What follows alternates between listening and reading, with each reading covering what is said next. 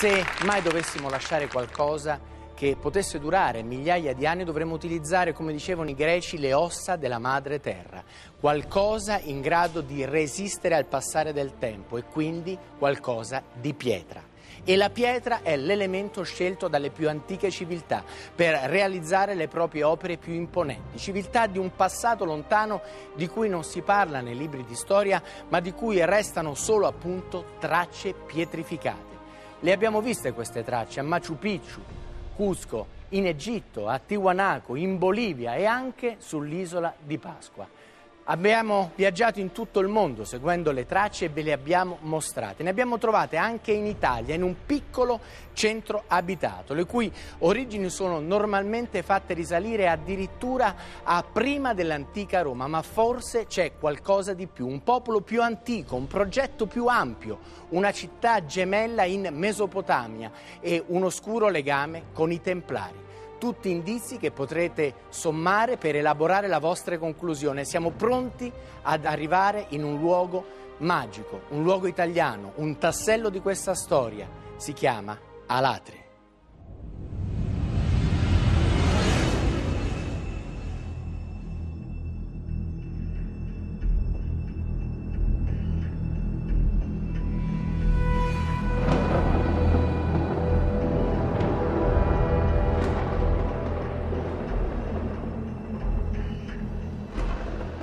Allorquando mi trovai dinanzi a quella nera costruzione titanica, conservata in ottimo stato, quasi non contasse secoli e secoli, ma soltanto anni, provai un'ammirazione per la forza umana maggiore di quella che mi aveva ispirata la vista del Colosseo.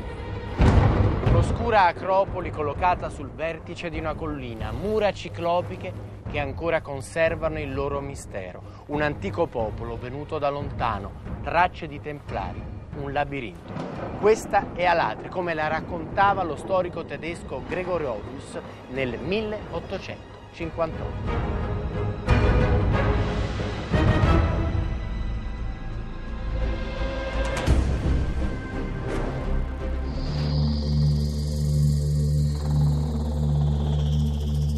Troviamo ad Alatri, in provincia di Frosinone, nel Basso Lazio. Stiamo per intraprendere un affascinante viaggio nel tempo. Tutto comincerà nel 1700 a.C. Vedremo delle sorprendenti mura ciclopiche. Arriveremo fino ad un enigmatico labirinto scoperto solo pochi anni fa.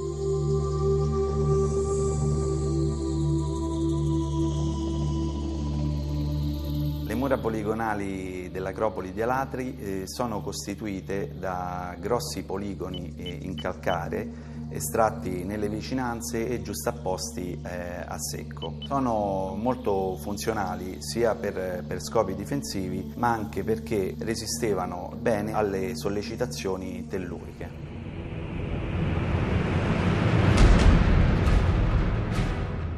Mura poligonali sono mura costruite con grandi blocchi megalitici, tagliati in forme bizzarre, irregolari, diverse dal quadrato, dal rettangolo.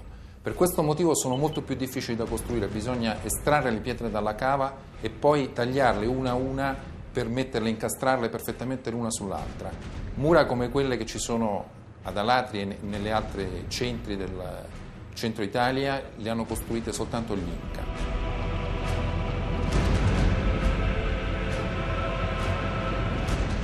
Lunghe oltre due chilometri, le mura poligonali di Alatri, dette anche pelasgiche o ciclopiche, raggiungono i 21 metri di altezza nel punto più alto, per una profondità massima stimata, in alcuni punti, in 10 metri, e racchiudono un luogo religioso, ma anche sicuro, l'acropoli della città.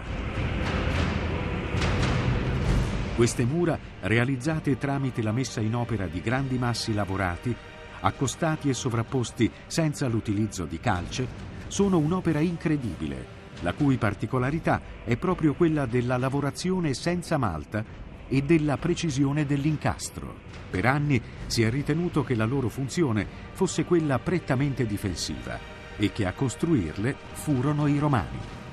Opera complessa e grandiosa, quanto tempo sarebbe stato necessario per concluderla? Probabilmente dobbiamo ipotizzare un periodo di almeno una dozzina di anni. La cinta muraria, eh, quella più imponente, quella che noi eh, attualmente vediamo, era eh, preceduta probabilmente da una cinta muraria più antica che siamo nel V secolo a.C.